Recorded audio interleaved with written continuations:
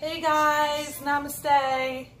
Uh, so I wanted to take a few minutes and just go over at least the three meetings, um, different types of meetings and different types of recovery that I've been through. Um, and then give everybody like a gist of just like what each one's about.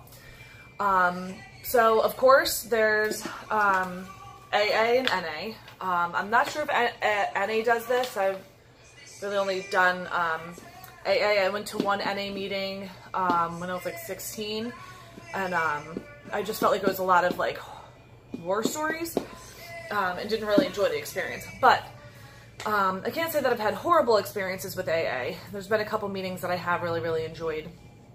Um, so with that said, although AA is not my fellowship, um, I have been to a few meetings, so I do know what it's about. So in New Jersey, at least, um, so they have like South Jersey Intergroup. they'll give you like a this and then you can get numbers on the back. Um, and it's a list of all the, the meetings in South Jersey. Um, and then it'll, like, inside it has, like, a description. So if you see, like, OD, that means, like, open discussion. If you see W, that means, like, it's a women's meeting. If you see M, it's a men's meeting. Like, just certain things, like, some just go over literature, some just go over the big book, some it's a step meeting, some it's a tradition meeting, some it's a speaker meeting. Um, which I thought was great, because I tend to um, really like the speaker meetings because I always feel like I get something out of it. Um, I'm able to like just connect with another addict, uh, which has been great. Um, and that's just my personal experience. Um, so, and of course AA has a lot more meetings than the other two. Um, and that's just because they're, they've been around for decades. They're more well known. Um, and, you know, it's different for everybody. But generally when you go in, um, about an hour to some some of them I think are even an hour and a half. But you go in. Um, if it's a speaker, the speaker will speak for about 25 to 30 minutes in the first in the first half, um, and then it's open for discussion for the for the next 30, where you just talk about like how you were able to connect with that speaker, whatever.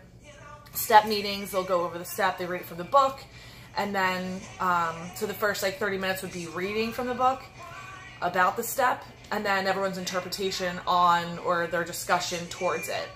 Um, and it's different. It depends on um, which one you like. I think there are some people who really do like the step work and stuff like that.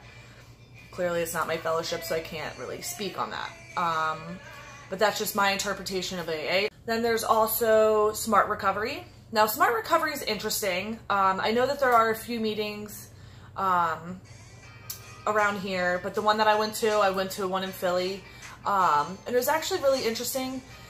So you you go in, everyone goes around and you initially introduce yourself. You'll introduce yourself, then you'll introduce your what your addic addictive behavior is, um, and then you'll talk about the emotions that you're feeling at that time, what your was your success and what was your struggle for the week, um, and then they'll usually pick somebody to like share. Uh, I've only been to one set meeting, so they could have different ones, but this is just the experience that I have. Um, so then they'll generally pick one or two people who's like open for discussion and just speaking on something that maybe affected them for that week, and they're able to talk on it. So the, my take on smart therapy or smart smart um, recovery is that it's like a group in intensive therapy. That's basically what it is because they encourage um, crosstalk um, and they encourage you to like speak out and put your view towards things, which is great on one hand because um, then you're able to get a take and a view on other people's perception of certain things. But then it's also um, it's, it's, it's intimidating. I know the first one that I went to, I was like, oh my god, I was like terrified because I was like, I are people just like going to be flying off at the handle, like talking a certain way, um, and that's probably just because of my own um, recovery experience with some people that are very harsh and it has to be a certain way. Um, but uh, so far, the couple that I've gone to, it's been interesting, and I, I mean, I definitely, I thought it was really cool. Um, and I think that more people should try that as well. So I don't know if anybody else wants to. It seems like it's also like another hour, hour and a half type of thing. I know that there's one around here that we have that's an hour and a half. Um, but it seems um, it's definitely interesting. It seems like it's more open to everybody and their addiction. and then also I've something that I've realized with smart recovery is you have to be a licensed practitioner, um, not like a doctor's practitioner, but like um, with addictive counseling. So that's actually really cool. That's interesting. Um, in order for you to chair the meeting, that is. Where, as for AA and refuge recovery, you don't necessarily need that. Um, actually, you don't need that at all, not necessarily. Um, you just need to have some type of recovery time. You think you have to be a year, a year sober in AA and NA. I'm not 100% sure on that, but I know for refuge recovery, just as long as um, you are um, that you abstain, that you promise to abstain for six months to chair a meeting. And then there is refuge recovery. Um, so from the outside looking in, I feel like I hear a lot of people like they just seem super curious about refuge recovery, but they're also really confused. Um, so refuge recovery is a Buddhist-inspired path to recovery. Um, and in my interpretation of what Buddhism is, Buddhism is just about kindness. Um, and the way that the creator of Refuge Recovery, I truly feel like he almost made it like Buddhism is for recovery. Um, and it's beautiful, and I'm loving and encompassing um, Refuge Recovery. I've always loved Buddhism, and I loved Buddhism prior to my to even um, my recovery. But it's getting into my recovery that's really made me encompass what Buddhism is about. Because uh, it's about kindness and compassion and meeting things with kindness and compassion and it's not about an eye for an eye and being spiteful that you know we're all hurt and ultimately hurt people hurt people um, and it's because of our suffering that we act a certain way. And just because we're suffering doesn't give us the right to act a certain way. So with that um, refuge recovery is about four noble truths. And the four truths the two are basically about your addiction, how it came about, uh, a deep inventory about your recovery, about your addiction, and how um, you're feeling about it in your recovery. Um, then it's also just about that recovery is possible and that these are the steps and the guidelines to get you there. Then there's also the Eightfold Path.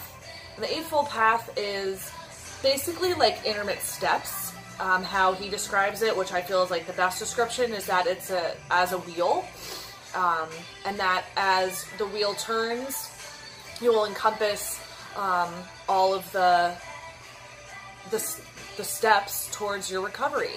Um, and I think it's just a beautiful way of um, always having something to revert back to and understand um, that there's like mindfulness and meditation and awareness and um, action, certain things that need to be a part of a recovery because ultimately I'm a firm believer you can abstain and I feel like there have been people who do abstain uh, but to truthfully be a part of your recovery you just have to become a different person I know I held on to the fact that I thought that I could be a perfectionist my cat um, I thought that I could be a perfectionist still out of my recovery, but I was perfectionist in my addiction and I was never going to encompass. And for me, that's why AA would not work for me because I would want the perfect steps and the perfect everything. And so far for R&R, there's just, there isn't that perfection um, towards things. I, at least I'm not feeling that. I'm a little bit, I'm able to meet myself with more compassion. And I think that's like the most important thing, especially for a lot of people in recovery is to meet ourselves with more compassion and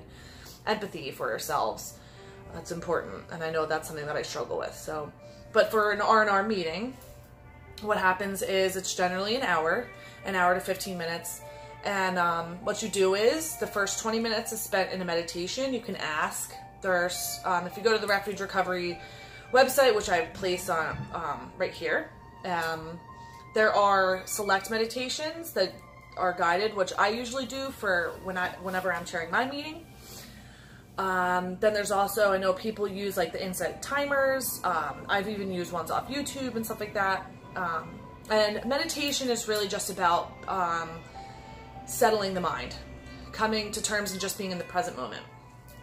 Um, people use it, there's no right or wrong way about meditating. Um, people think that it's just about like completely clearing the mind, but it's pretty impossible to do that. but it's just a way about being centered with yourself uh, and I think it's beautiful. Then um, after the meditation, you generally read from the book for about 10, 15 minutes. Most of the chapters in the R&R book are um, smaller, so it's, it's quicker to get through.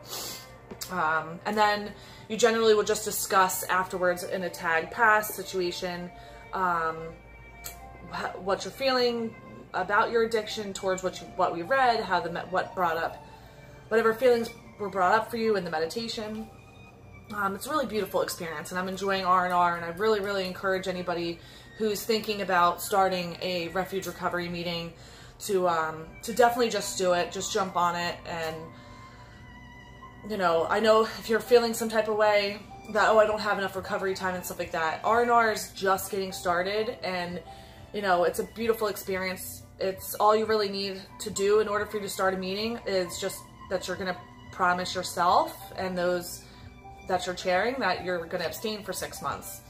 Um, so please, I encourage everyone and anyone who is thinking about doing it just to do it so that we can get meetings out there and get your Sangha and get a community going because it really is. I'm extremely thankful. It's a beautiful experience. And um, other than that, that's really all I had to say. That's all I wanted to share this week. So I hope everybody is having a beautiful and amazing, sober and clean week and namaste sober, and I hope you do too.